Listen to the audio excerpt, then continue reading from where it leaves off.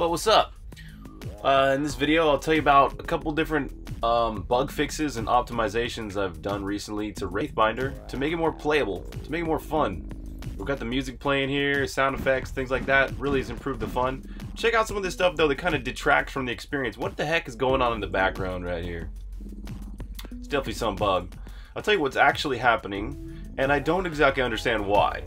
Um, but I've fixed the bug and I'll show you how I fixed it, but um, I still don't understand why. And at this point, I've spent too much time on it, so I really can't figure out why at this point. So I'm just gonna accept that my workaround is good enough. Check this out. If I if I turn on my debug display, all of a sudden the background clouds turn all good.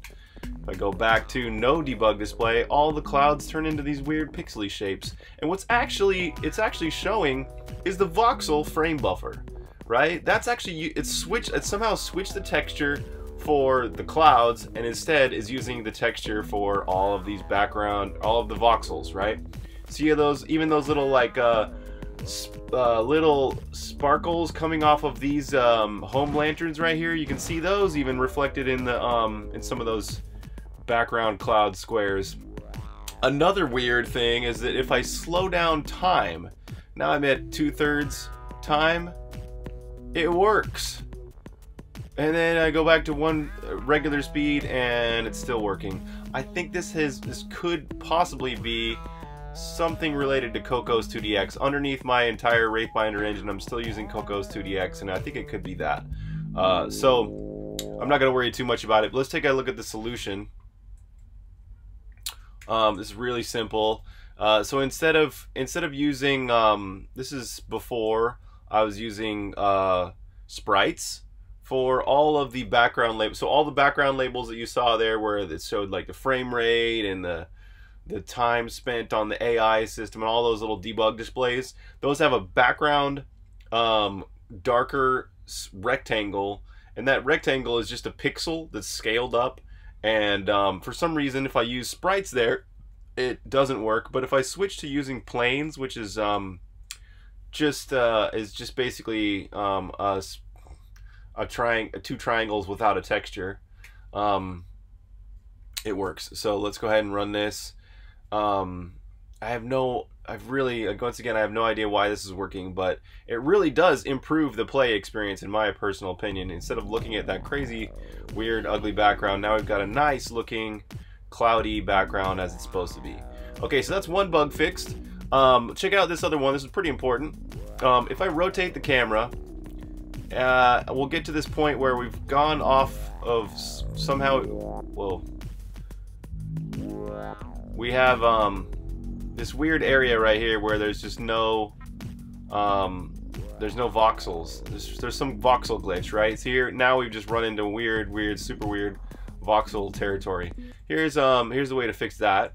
Um, basically, when the when the camera rotates, it's it, I did an optimization where it resets its render grid right when it starts to do its rotation, and then um, I didn't have this line of code in there before, right? At the end, it would clear its on-screen box and then re um, recompute all of the current on-screen entities, but it didn't reset the render grid. This is what actually cleans it up and makes it so um, it knows exactly which entities are where in two dimensions, so it can quickly look up what entity is at a certain 2D position. So here we are. Let's rotate that camera again, and now we have perfectly nice rotations. Doesn't matter how many times you rotate, camera looks great no matter what. And there's no more visual glitch with that voxel thing, which certainly detracted from the experience because you couldn't really rotate the camera without messing everything up and um, okay, so that's nice, right? Another bug fixed. Uh, let's take a look at another one that was uh, really slowing down the entire game, especially when I when uh, when the boss suddenly was on the screen. Um, and that is, check this out in refresh model. It chooses chooses a model rotation and a light rotation. So every single model in the game is actually for every single frame of every single model in the game. It actually is has 64 different uh, frames in memory. Uh, eight for all of the compass directions, and then eight times that for all of the light rotations that could be at that compass rotation. So as you rotate the camera, we need all 64 of those depending on your model rotation and your light rotation. Um, now, however, uh, recently I've added some stuff into the game so that it you can rotate your character 360 degrees.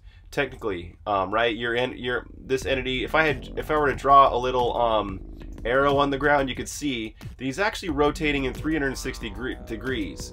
Um, he ends up the the rendering part though. He only renders on 45 degree segments, right? Or 45 degree compass directions, right? That's that's. Uh, if we were to try and do 360 degrees, we would be way over our memory limitations. Look at, we're already almost using a gig of memory, um, and that's not counting a lot of other stuff. Basically, if we were to multiply every single, whatever, it would cost too much memory to rotate 360 degrees every single model. And besides, they kind of look really stupid when the models are rotated at like 20 degrees or 21 degrees. It's like the pixels look like garbage. I've got some ideas to fix all that and make the, especially to make the 45 degree rotations look really good.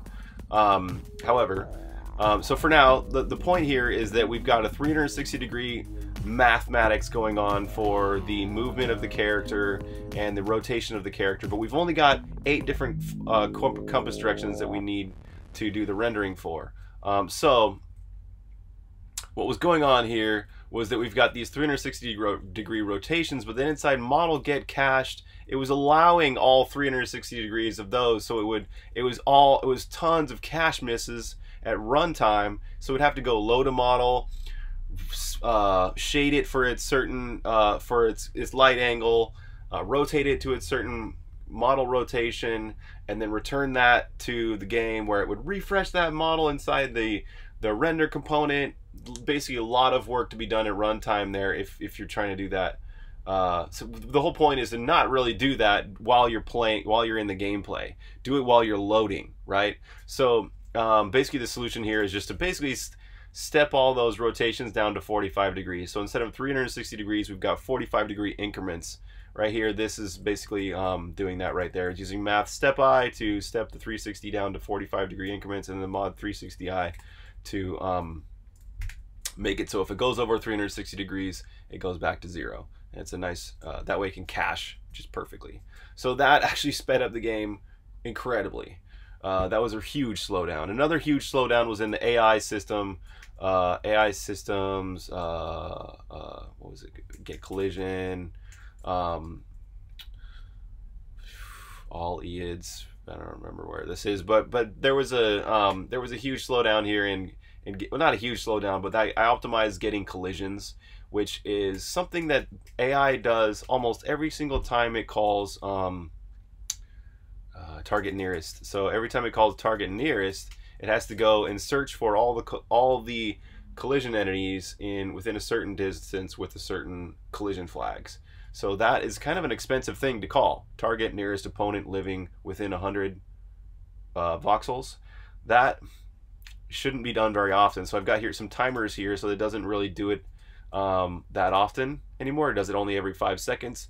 And then there's some other optimizations in the collision system to make sure that is also uh, really nice and optimized.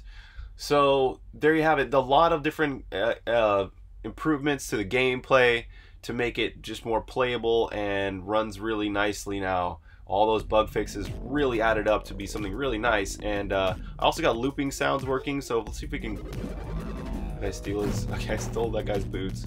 Here we go, cool, the top hat. So, um, or slash the boomerang. If you have a boomerang, um, we'll get out of God mode right here. Let's use the boomerang, right? We've got the boomerang sound effect now. That is a looping sound. So I had to do some stuff to make sure that that looping, the looping sounds work well. This is kind of fun. Check this out. If you go, I like this. If I throw the boomerang right here and then use the teleport, it's gonna be super fun, right? We're gonna use the teleport, and the boomerang's gonna come all the way across the level and come back to us.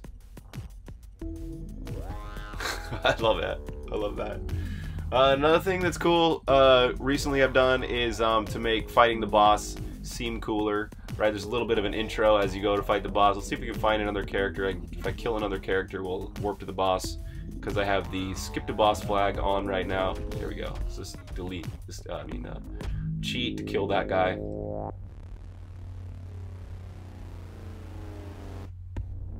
So it's kind of a neat thing where we've got the light going off and all the characters facing the middle and the camera zoomed out.